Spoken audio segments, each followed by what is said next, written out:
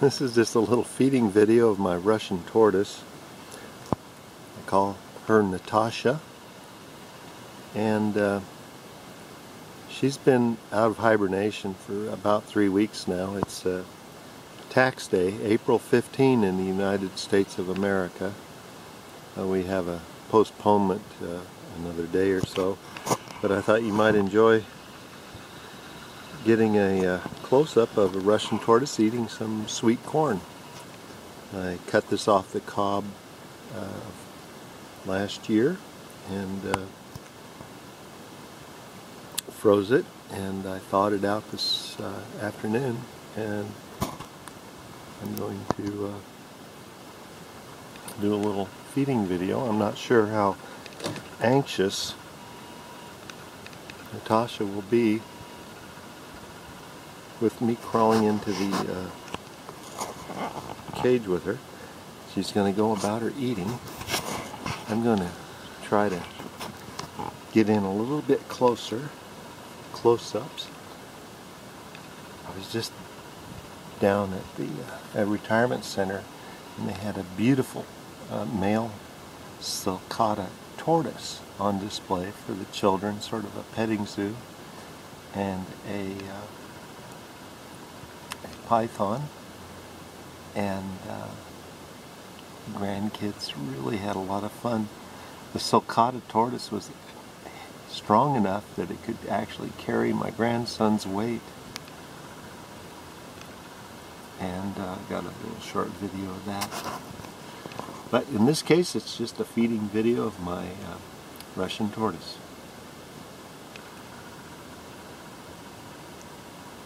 I'm about 12 inches away, invading her space.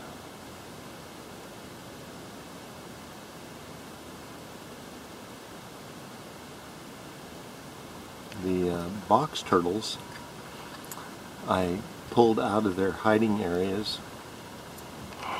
and uh, they're just warming up slowly. It was 30 degrees last night and uh, Russian tortoise, because of where it, uh, you know, its environmental conditions where it lives, it's sort of used to uh, real inclement weather, whereas the box turtles are uh, like a lot warmer weather, I think. Anyway.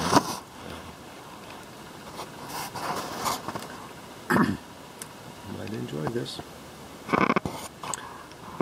I measured the uh, shell on this box turtle and it is I thought it was much larger but uh, it appears that it's about seven inches the average size for uh, Russian uh, tortoises to be. But boy is she hungry.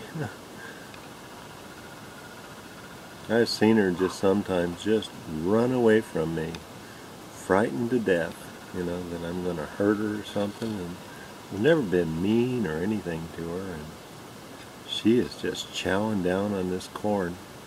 When I put it out here on the plate and uh, surrounded it with these, uh, actually there were uh, six box turtles. Uh, one of them took off and is somewhere else in the enclosure right now. Uh, she decided, she saw me feeding them putting the corn in front of them and she decided that she was not going to wait she was going to come right down here and uh, have some of this uh, delicious sweet corn. The brand name is Ambrosia. it's quite a wonderful sweet corn. It's uh, one of the super sweet corns. And it's obviously a favorite of Russian tortoises. Certainly mine.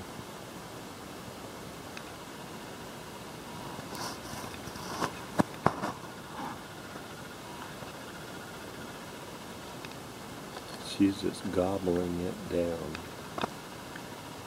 I'm really pleased that uh, she's allowing me to get within six inches of her with this camera.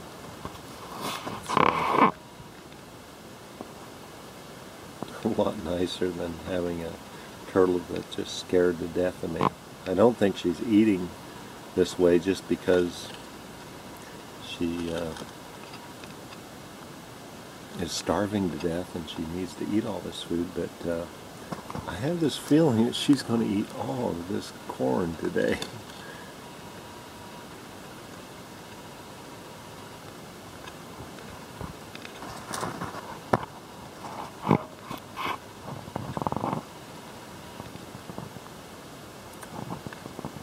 The Russian tortoise is one that uh, I adopted from a nice young gentleman, uh, young old gentleman that was having some difficulties with his health, and he had a, adopted the uh, this tortoise, and it was sort of starving to death. a young teenage.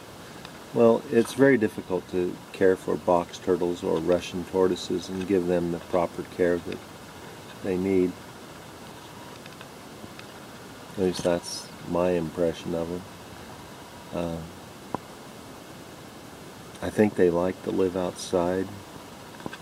And I think if you have to keep them inside, it's just a very unnatural environment. But uh, a lot of box turtles and a lot of Russian tortoises probably live out a quite normal, wonderful life inside, out of the uh, outdoors. But I think they really I don't know if they enjoy it, but they uh, respond much better. They respond in a very nice way to the environmental conditions that they can have when they're outside. And you'll see it too in some of my old videos or in some of these, you know, when the weather gets a little bit warmer, my box turtles that are, I'm going to back up a little bit box turtles that are just soaking up uh, rays of sunlight right now on top of the uh, I have a plastic tabletop here uh, covering the top of their hibernation chamber. Um, I have two entrances to the hibernation chamber. This is uh, I guess it would be the south entrance and uh, I'm going to take the camera and put it in towards the entrance of the chamber. It goes down a hill here about 30 inches into the darkness there where the uh, box turtles hibernated last winter and so did the Russian tortoise. And over here on this side, oh look I got another little box turtle sticking his head out here. I'm going to just grab him, or her, I think it is a her, and put her up here where she has an opportunity, if she wants, to uh, get some food as the Russian tortoise tries to eat it all while the box turtles look on. And this is the uh, I guess, the east entrance to the chamber. And uh, I'll just take the camera and push it down the hole. It goes down and eventually it gets down uh, to the bottom another, oh, two feet. And it uh, is about 30 inches underground, I estimate, the uh, depth being that much. And during the winter, when it gets down to 7 below zero Fahrenheit, um, the uh, box turtles and Russian tortoise that are in the hibernation area uh, survive. I block off the uh, entrances to the tunnel so that they don't have any opportunity to get out um, during the winter and uh, they somehow have the ability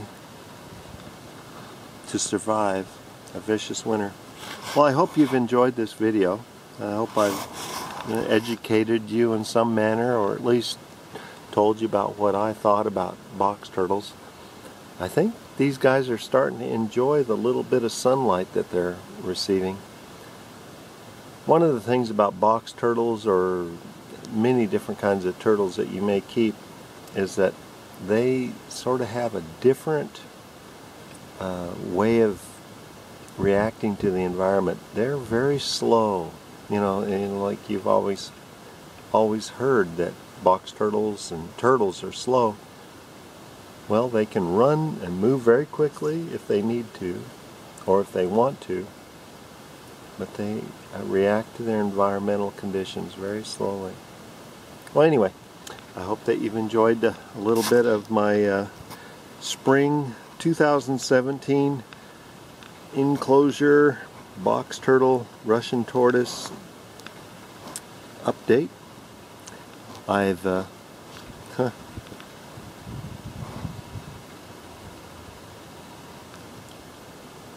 give me a thumbs up if you like it. If you have any kind of questions about box turtles or uh, Russian tortoises, I'll give you my opinion. I may not be uh, may not be the correct answer, but I've successfully kept box turtles without any deaths whatsoever for more than five years. And I've raised them from hatchlings, and I have um, quite a bit of personal experience. And uh, I have read quite a bit about them on uh, line and on YouTube.